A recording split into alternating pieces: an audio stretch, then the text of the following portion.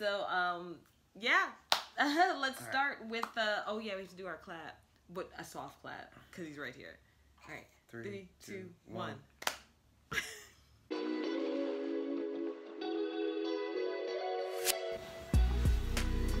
Hi, everybody. Hello. It's been a while.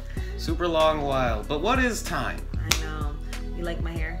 I know it's a little tall. This um this is what new parenthood looks like.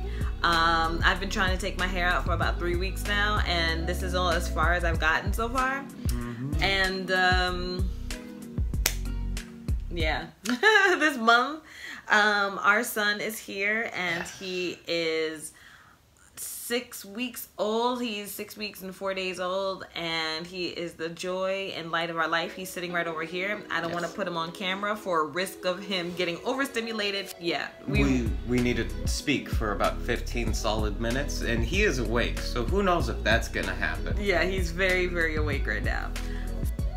It is very, very silly. Very, very silly. But uh, the hospital itself was wild. You saw that on the last video where we were there for like uh, half the week. We got back on Tuesday night. We were night? there from Friday to Tuesday. Yeah, Friday so to Tuesday. we explained it in the other video that I had low amniotic fluid and that I had to be high. Induced. I- And our understanding of the inducement process uh, didn't really like. How do I say this? We didn't realize that it would be 40 solid hours until we were at hour 28. But to be fair, most uh, inductions take between 12 and 24 hours, and mine just happened to take longer because I was zero centimeters dilated because this guy didn't want to come out. But we explained all of that in the previous video. When we came home, oh, well, not when we came home, so after I gave birth, um, I was as big as a house. I still have, you know, some of my baby weight left, but I was as big as a house because I swole up. All of the fluids from the saline and all of the medicine that they were pumping through my system stayed in my body, and my hands. How big were they? Oh, oh, they were they were big old sausages. Uh, she came home looking like Veruca Salt from Charlie and the Chocolate Factory.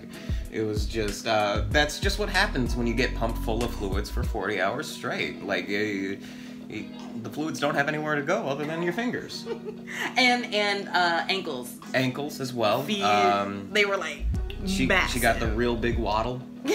it was so it was so massive. Oh, good morning. But it was also one of those things where, like, that settled down over the course of two weeks. What didn't settle down was our little dude because uh, we were hard charging for breastfeeding. because yeah so we met with the lactation consultant um at the end of the birthing video uh, you'll hear me say oh here comes the nurse well it was actually the lactation consultant and they were telling me that hey your colostrum's gonna start kicking in and his stomach is like this big so he doesn't need a lot to be full so i was going off of that so I'm like, okay, yeah, we're fine. I had read about breast milk, um, breastfeeding. I had attended all the online classes. I spoke with the lactation consultant. Oh boy, when we got home and he started hollering, and I tried to, uh, I tried to get him to latch, and he did. He's a really good latcher. However, because I was induced, I had an induced labor. There was no milk. You know, I, I may have had the colostrum, but I had no milk, and this child was hungry. Yes, uh, her brain was informed, hey, you're going to give birth whether you want to or not, but no one actually told her boobs or her uterus or anything like that until after it happened. And, but, you know, we are sleep deprived because over at the hospital during that long labor process, even though we are in a constant state of kind of napping, it's not restful. It is not restful in the slightest. So we're coming home all dreary. Uh, she's still wheelchair bound, uh, somewhat, and we're just kind of wandering around this apartment with the screaming baby, going like, "What? What do we do?" And it was me, Jeff, and my mom. And three grown adults could not figure out what was wrong with this child. So from we got home on Tuesday, and then his first appointment was on Friday, and the doctor, the uh, his pediatrician said he lost 14 ounces. So he was born seven pounds, 14 ounces, and he lost all 14 ounces, and she was upset at me. She mommy shamed me. I cried in the parking lot. I had no idea. I knew he was screaming, but I thought I was feeding him. I, I thought that I had a little bit of milk, you know. Be, he was latching really, really well. I thought he had a little bit of milk. Uh, because they told me it, his stomach was so small that it doesn't take much milk. You know, we were changing his diaper, we were talking to him and singing Yeah. to him, and he was so unhappy. Turns out I, he was getting milk, but it just wasn't enough, so we had to start supplementing with formula. Which Thank is- God for that doctor's appointment because if we had to wait two weeks or one week, uh, who knows what would have happened. So I'm very yeah. thankful, even though I was sad. Um, I wasn't making any breast milk. I'm so happy we found out what the problem was. Oh yeah, and it, it was night and day because as soon as uh, we came home, we mixed up that first thing of formula.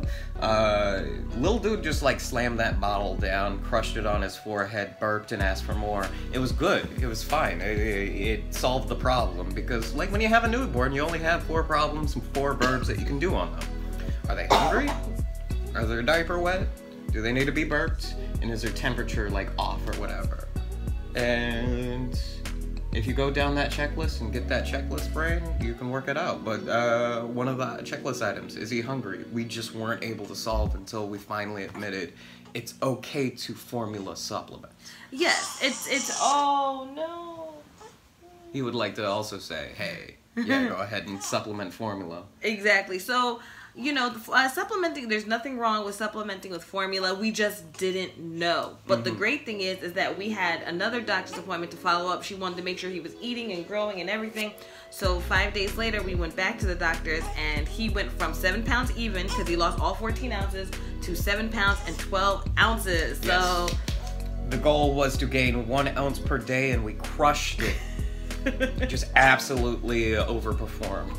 And uh, as of the last time we weighed him, he is ballooned up to 10 and a half pounds. Yes, because now he's six pounds, four days. Uh, he's six weeks, four days, and now we tried weighing him ourselves. So what we do is we step on the scale and then we weigh ourselves, and then we put him in our arms, and then we're like, oh okay, Yeah. and then we just weigh him like that. So Math. according to that, he's about 10 and a half pounds. Yes. Yay. Yay!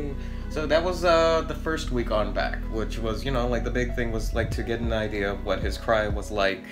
Uh, we now know what his hunger cry is. We we have that very much imprinted in the brain.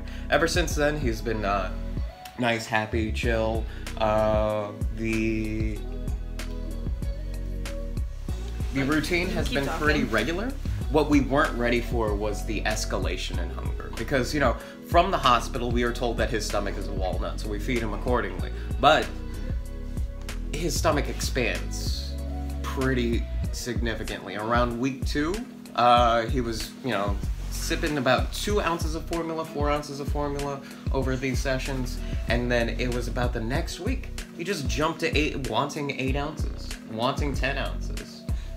And it's one of those things where you're just not prepared until he just like gobbles it all up in front of you to prove, yeah, he is actually that hungry. Yeah. yeah.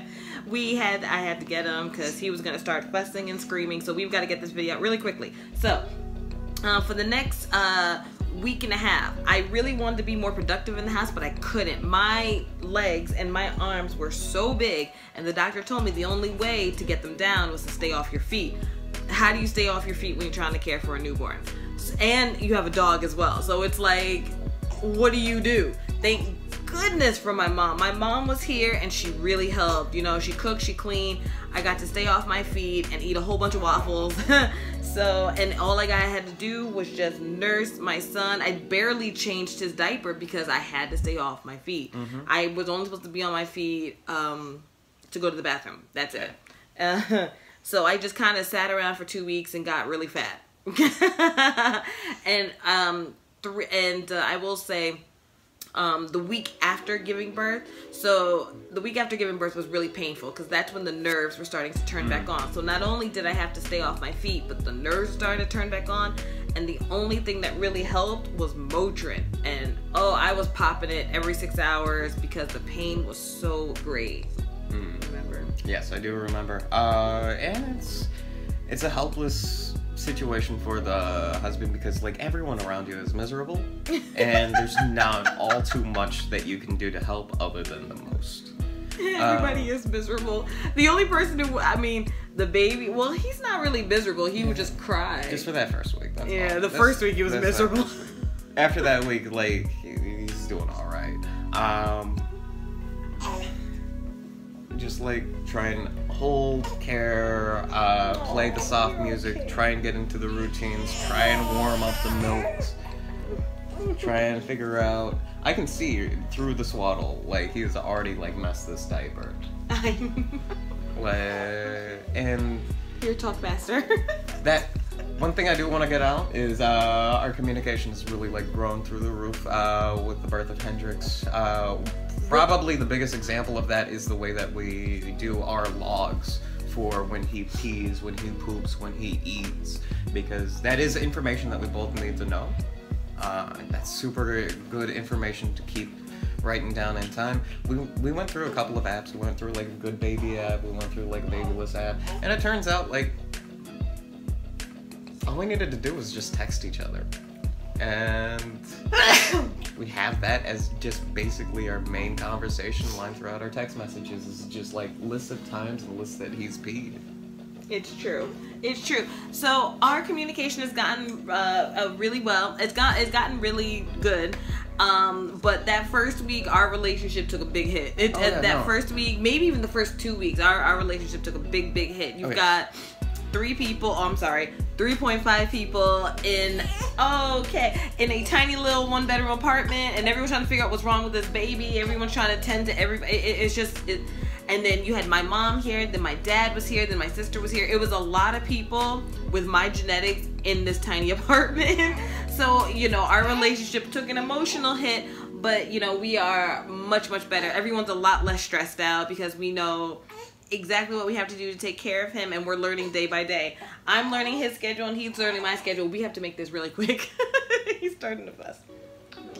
So I want to say thank you very much for pressing buttons on your phone to watch us uh, talk to you today, and thank you very much for uh, hanging with us throughout this whole journey. And here's our son before he starts fussing. Yeah. Here he is. Little James, little Yeah. Jimmy, Lil Jamie, all of the little pet names. I'm like, it's so new. It's so new. It is. We gotta go. Bye guys. Bye-bye. Talk to you soon. Bye. Oh,